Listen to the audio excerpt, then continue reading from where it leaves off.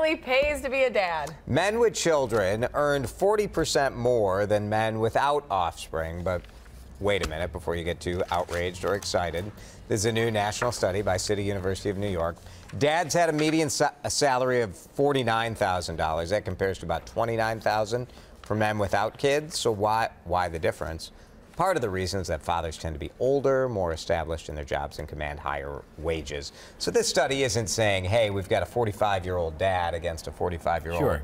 with no kids. That I think might be uh, more intriguing, right? Like, is our dads getting paid more than someone of the same age, same experience? But if you're looking at the whole workforce. I found interesting in this study, if you look at women overall, it does not pay to be a mom.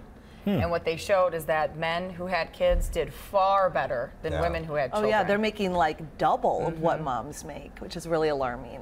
I wonder what the net of this is, though. I mean, if you're a dad, then you're paying to have a child as well, paying for diapers and all that stuff.